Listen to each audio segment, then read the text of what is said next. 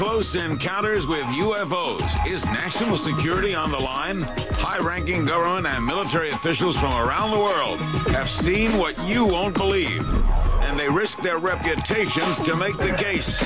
They're here, and so is Shirley MacLaine, who's had her own spacecraft sightings and can't wait for the chance to get on board. Next on Larry King Live.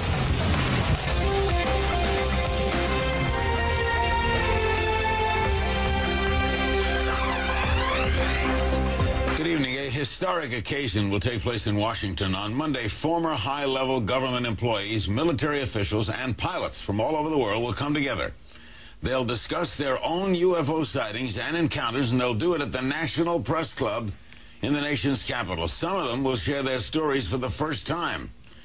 This group has gathered together to call on the United States government to take an active role in investigating cases involving unidentified flying objects. That's the topic of our program tonight. Our panel here in Los Angeles, Fife Symington, the former governor of Arizona, who in 1997 ridiculed an infamous UFO sighting by thousands of people in his state and later admitted that he himself saw a craft.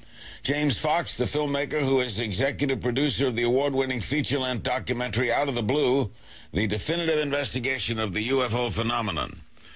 Colonel Chuck Halt, United States Air Force retired, was the deputy base commander of Brentwoods of Bentwaters Woodbridge, a U.S. military base in Suffolk, England. And in 1980, Chuck and his patrol investigated an internationally known UFO encounter in Rendlesham Forest, close to the Bentwaters Woodbridge case.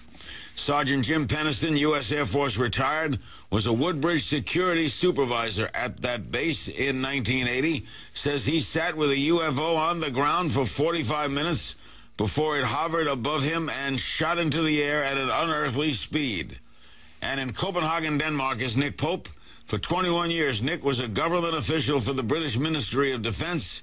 From 91 to 94, he ran the British government's UFO project at the Ministry of Defense where he researched and investigated the UFO phenomenon for the British government. Fife, are we now saying that the United States is taking this seriously, or is this just an event? I, I think the United States is taking it seriously, and they, they need to. Uh, it's, it's long overdue. Um, the, the issues that uh, James has so courageously uh, tackled with his, his uh, production uh, deals with really the very top um, sightings uh, uh, around the world, and he's brought this group together uh, for this uh, press conference on Monday, and I think it's uh, it's a great uh, public service that he's providing. And you're going to moderate it, right? I'm going to moderate it. Yes. You were certainly a skeptic, right? Originally, I was a skeptic. And what changed yourself with sighting? Well, I was part of the. Um, the Phoenix Light, the Lights Over Phoenix um, event back in 1997, uh, and I saw a wedge-shaped craft of enormous proportions uh, fly over what we call the Squaw Peak area in Sunnyslope in Phoenix uh, the night of the event, and it was really, it was something to behold. And James, you haven't cited it, right? You just did the film. Yes, I just did. I've, I've spoken with a lot of high-ranking military and government officials from several countries. What did what got you involved to even do the film? Um, well, it was uh, an interest I had of mine and uh, I started, it was a personal investigation, I guess, and I started to document some of this stuff on camera. The next thing I knew, I ended up with the film. And 12 years be, later. Will you be there Monday, too? Absolutely, yes. Are they going to show that film in Washington? No, we're not. It's, this is uh, this is just uh, to establish the fact that uh, the phenomenon is real and it's and it's happening worldwide. Right, Colonel Halt, uh, the United States Air Force retired, was deputy base commander at Bentwaters Woodbridge. That's a U.S. military base in Suffolk, England, right? That's correct. Is it still there, that base? It's still there, but the base is now closed. Okay. It's in a, been returned back to its civilian owners and made into council housing, something like Section 8 housing. What, if anything, did you see? I saw some lights I couldn't explain. Very unusual lights. I don't mean just a light like a bulb. I saw something that was oval-shaped, maybe 10, 12, 14, 16 inches across, had a black center. It sort of winked, and it appeared to be dripping something like molten metal off it. It moved horizontally through the trees, avoiding trees, occasionally bobbed up and down a little vertical distance. It came toward us at one point. It receded. We were very concerned, but we tried to approach it to see if we could get close enough to discern what it was. It actually moved out into a farmer's field beyond us. We got up to the edge of the field. We looked at the object, watched it for a few minutes. I was very concerned because the object was illuminating the farmhouse behind it, and I wasn't sure whether there was some damage being inflicted on the people that lived there or what. Hmm. Suddenly, the object just exploded silently into five white objects and it disappeared. What time of day? This was about 2 or 3 o'clock in the morning. Did you report it? Oh, my, yes. Uh, what, one thing I want to say quickly is that uh, the, I think the objects overhead were far more interesting. Uh, yes. next, the next series of events. While we were in the field investigating, and we were actually looking for maybe burn marks on the ground from what was apparently dripping off this object, we noticed three objects to the north in the sky. They initially were elliptical. They were illuminated with multiple lights and were moving at high speed in sharp angular patterns. We noticed two objects to the south.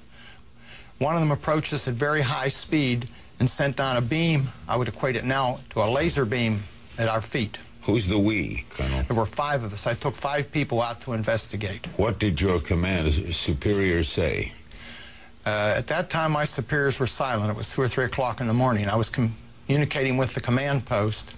I did take an audio tape. In fact, I brought the original tape recorder with me. It's a little Lanier tape recorder that I carried around the base. And I made a tape recording, which is about 15 or 20 minutes long. It's rather famous now. And did you play it for them? Oh, definitely. I played it the well, next day. What did they say?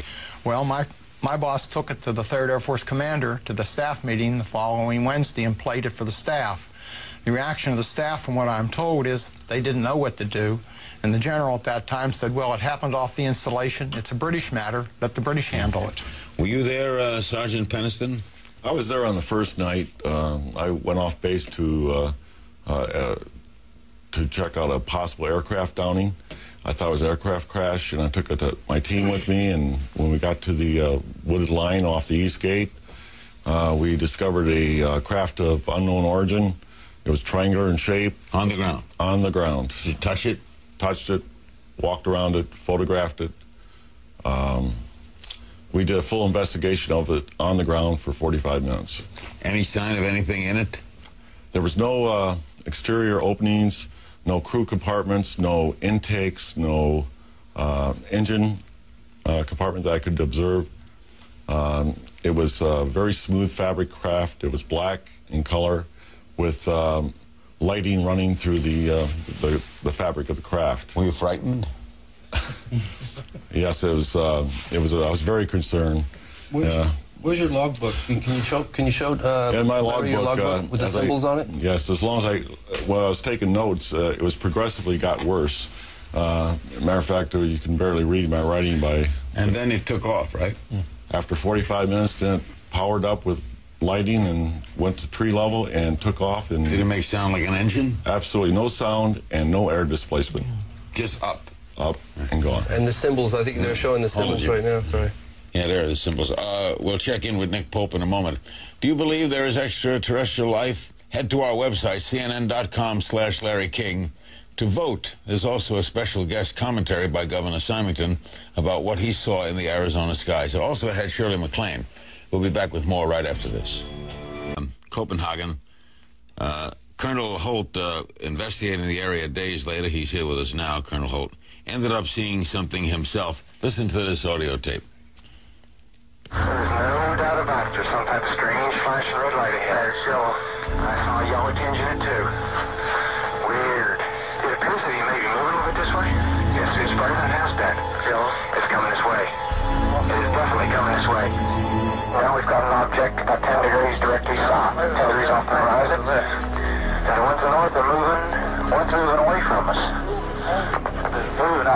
Moving out. There's one on the right heading away too.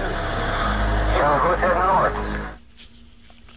And we have with us, he brought it along, uh, Colonel Halt's notes that he kept while this was going on, right? Actually, it's Sergeant Penniston's notes. Yep. Your, your note. Yes. Uh, I'm sorry, Chuck. Uh, it was Sergeant Penniston's notes. You kept these while you were viewing this thing? Yes, we needed the times and that for, you know, log entries and stuff like that. Uh, it's routine. Yeah. You, you, missed, you, missed, you missed the symbols on that. The symbols are so fascinating. Routine activities, not a routine event. That's right. Let's check in with Nick Pope in uh, Copenhagen, 21 years a government official for the British Ministry of Defense. Nick, what do you make of all of this? Well, the Rendlesham Forest case was certainly one of the most compelling uh, UFO incidents in the British government's files on this. And critically, one of the very important things